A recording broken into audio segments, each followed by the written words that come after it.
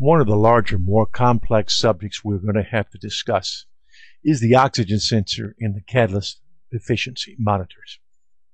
Now, the catalyst efficiency monitor and the oxygen sensor monitor are linked closer together.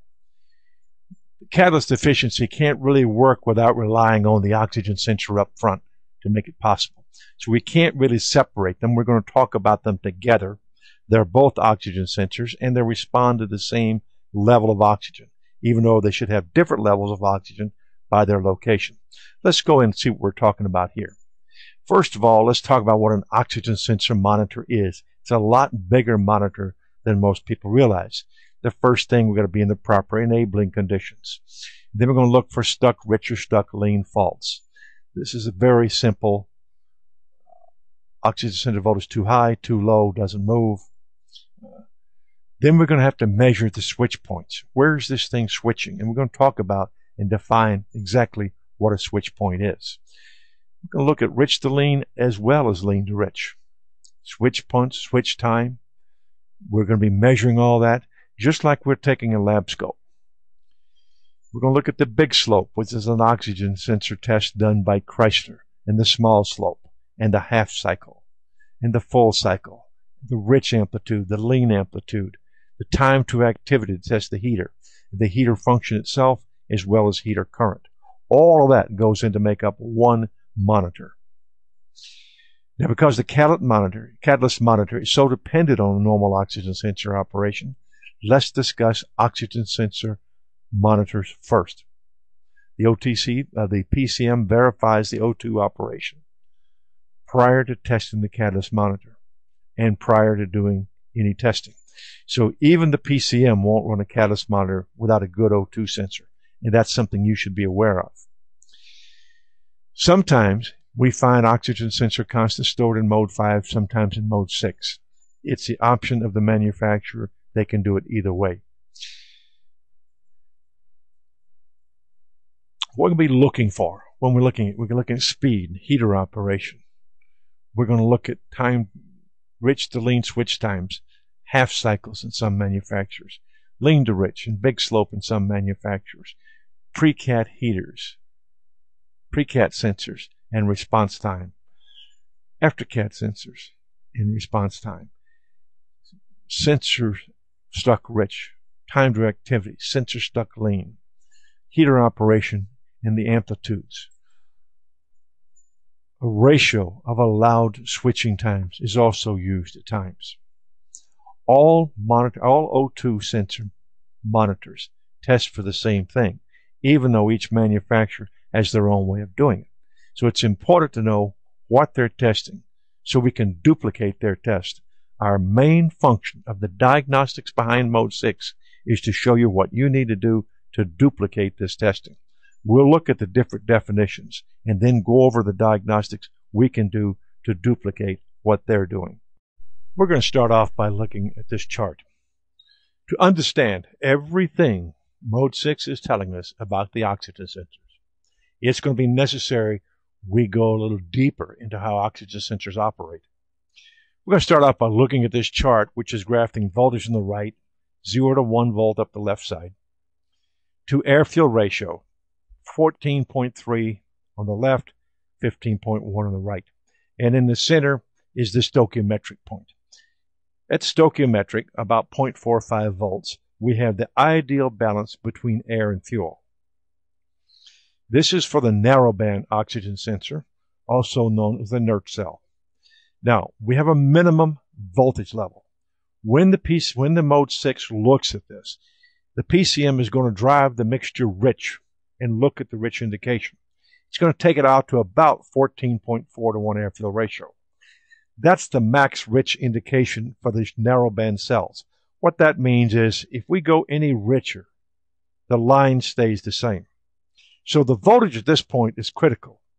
It can be anywhere from 0.85 to 1.2 volts, but the minimum is 0.85. So when you see max rich, what the PCM has done is it has measured the voltage at this point to know where it is because it's a variable. And on the other side, this is the also another point we got to remember it cannot measure anything beyond 14.4. The reason we bring this to your attention is for wide open acceleration. Some people use this voltage to see if they're getting sufficient fuel flow. Well, the ideal or a good reasonable number for wide open acceleration is 13.2 to 1 air fuel ratio. There's no way for this to measure that level. So don't use this just for wide open throttle saying I got plenty of voltage if it gets to some number. Max lean is about 14.9 and the PCM is going to take the vehicle down and say can it get to the maximum lean. The minimum level is 0.1 volt. If it doesn't get to 0.1 volt, it's not reading right. So we're going to be looking at voltages between 14.4 to 14.9. We bring this to your attention because we say take it rich, take it lean. We're not talking what we used to call rich and lean, very low numbers, very high numbers. Now let's talk about what we're going to be seeing. Let's talk about the definitions that are going to be used by the various manufacturers. TID 6 at GM, for instance, with a number of SIDS, is time to activity. GM's method of evaluating the oxygen sensor is to look at the time to activity. So when you see time to activity as part of your definition, it's measuring the oxygen sensor heater activity. TID 82 is a ratio of measured and max allowed switching time rich to lean. We're going to define that further, but we just looked at the chart. What is, we've just defined max rich, we've just defined lean. Now it's going to measure the time between those two, and we're going to show you in a lab scope what that looks like. TID 5 is rich to lean threshold voltage, and we're going to explain that later on a pattern we look at a DSO to show you how we measure that. The other under TID 5 is lean to rich threshold voltages. It's going both ways, rich to lean and lean to rich. TID 5 is also going to measure low voltage for switch time calculations and high voltage. We just said high voltage is about 14.4 to 1. Low voltage, all of those things we just looked at that chart. The next criteria is the time from rich to lean, or rich to lean switch time calculation, based on those low voltage, high voltage measurements we made. And again, all of this is taking place in that time frame of, four, of the air fuel ratio of 14.4 to 14.9. Mode 5 is also going to lean to rich switch time.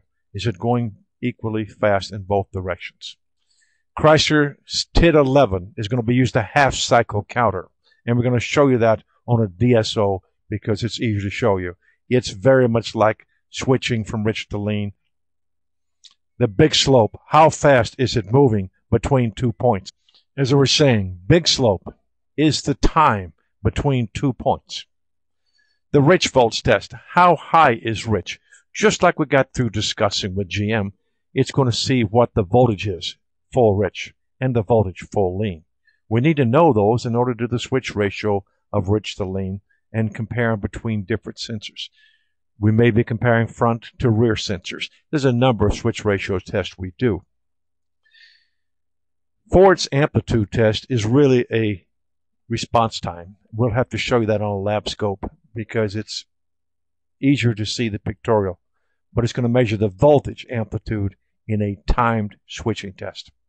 And it's going to do it for both the left and the right bank. It's going to be doing switch points. And we're going to show you that on a digital storage oscilloscope because it's easier to see. We're going to have switch points for lean, switch points for rich, they're all going to test the operation and the speed between two defined points. They may have slightly different nomenclature of what they call the speed. Switch time, very simple. Big slope, uh, half cycle, all of these are measuring the time between two points. Reaction time we will show you when we start turning from rich to lean. How long does it take to make the turn? What's the rich movement? What's the lean movement?